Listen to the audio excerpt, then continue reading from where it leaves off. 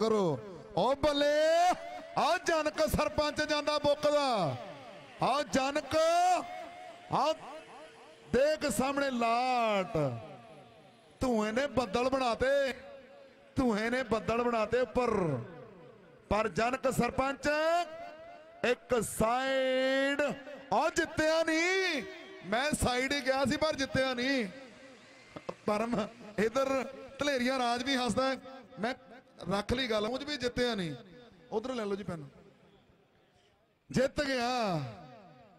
ਲਾਡੀ ਬਾਈ, ਮੈਂ ਕਿਹਾ ਜਨਕ ਸਰਪੰਚ, ਰਾਜ ਧਲੇਰੀਆ ਕਹਿੰਦਾ, ਮੈਂ ਕਿਹਾ ਜਿੱਤਿਆ ਨਹੀਂ। ਬਾਅਦ ਚ ਹਾਸਲ ਪਿਆ। ਰਾਜ ਧਲੇਰੀਆ ਸਾਡਾ ਵੀਰ, ਆਪਣਾ ਪਹਿਲਵਾਨ, ਮੈਨੂੰ ਲੱਗਦਾ ਪਹਿਲਵਾਨੀ ਉਹ ਕਰਦਾ ਹੁਣ। ਵੈਰੀ ਗੁੱਡ ਸਾਡਾ ਵੀਰ ਜਤਿੰਦਰ ਪਹਿਲਵਾਨ।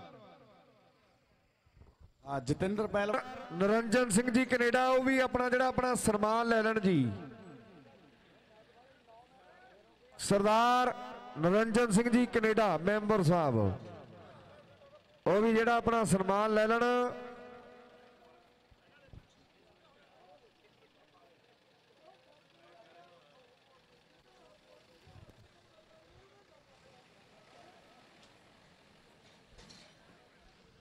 ਉਧਰ ਸਾਡਾ ਵੀਰ ਜਸਜੋਤ ਕੈਨੇਡਾ, ਗੁਰਪਾਲ ਪਖਵਾਲ, ਸੁਖਵਿੰਦਰ ਸਿੰਘ ਜੀ, ਸੈਕਟਰੀ ਚੱਕ ਰਾਮ ਸਿੰਘ ਜੀ ਸਰਪੰਚ ਚੱਕ ਜਗਪਾਲ ਸਿੰਘ ਜੀ ਸੰਧੂ ਸਾਡੇ ਪ੍ਰੈਸ ਸਕੱਤਰ ਮਾਸਟਰ ਸੁਖਦੇਵ ਸਿੰਘ ਜੀ ਸਾਡੇ ਕਮਲਜੀਤ ਬਾਈ ਦੇ ਸਤਿਕਾਰਯੋਗ ਪਿਤਾ ਜੀ ਔਰ ਪਰਮ ਸਨੇਹਰ।